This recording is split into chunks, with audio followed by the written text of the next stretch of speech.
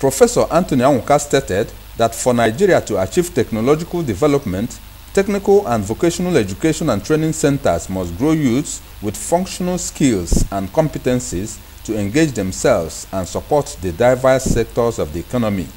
Emphasis must be placed on entrepreneurship development centers in recognition of the vital role they play as educational signposts of the nation towards expected contributions to national and economic development through the development of entrepreneurial skills in our students.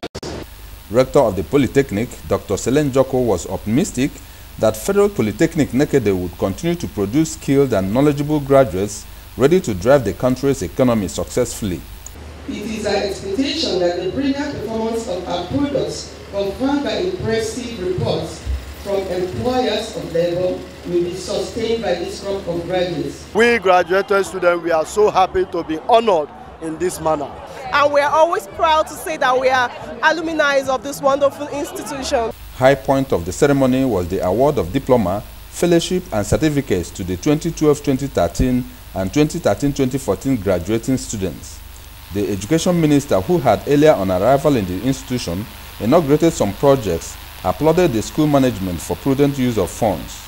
In Owerri, Norom Emechita, NTA News.